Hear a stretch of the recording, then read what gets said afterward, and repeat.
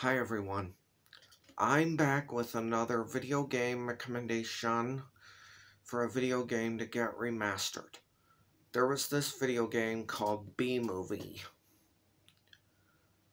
B-Movie the game. In this game, this video this video game was made based off of the movie itself. And in this game, you get to Barry B. Benson gets interviewed by a by a reporter bee um, inside of a beehive, and he learns and to tell the whole story about what happened. When he ends up when he ends up finding out that that the bees have been ends up suing the human race for stealing honey from them. And the one mastermind behind this was Mr. Montgomery. And it's up to Barry B. Benson in order to stop him from stealing their honey and using it to make money.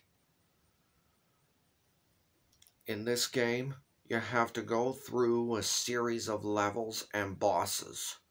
And once you do, you'll be able to defeat Mr. Montgomery and stop him from ruin from stealing all of their honey. However, in this game, something Barry B. Benson did make a little bit of a mistake. He made a few mistakes.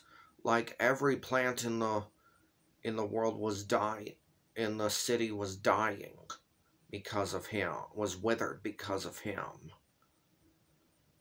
And so he made a few mistakes but he learned, but he ended up redoing it, fixing it, his mistakes. This video game is a real classic and I believe it deserves a remake.